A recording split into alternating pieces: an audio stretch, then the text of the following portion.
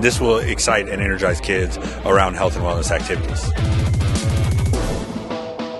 We are partnering with GEHA, 15 and Mahomies, Vibrant Health, and of course the Kansas City, Kansas Public Schools to make sure that they have an opportunity to talk about oral wellness, oral hygiene with the Chiefs Learning Lab. So today was the ribbon cutting.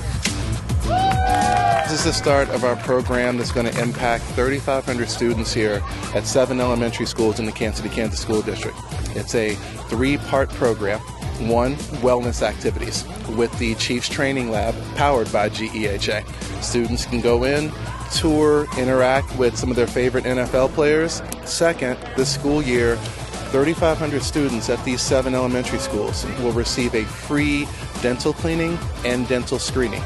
Last but not least, this uh, late winter, early spring, we're going to share the GEHA 15 to Mahomies health and wellness playbook. When we think about continuity of care, this not only impacts our students here, but even overall wellness, social emotional learning, and physical well being, it impacts the household, the family. And we really want to wrap our arms around them and think about the whole child, but the whole family. Health and wellness is essential, and for this to be introduced to students in a fun way um, with uh, the Chiefs and Patrick Mahomes Foundation behind us, it uh, gives the kids more engaged with it.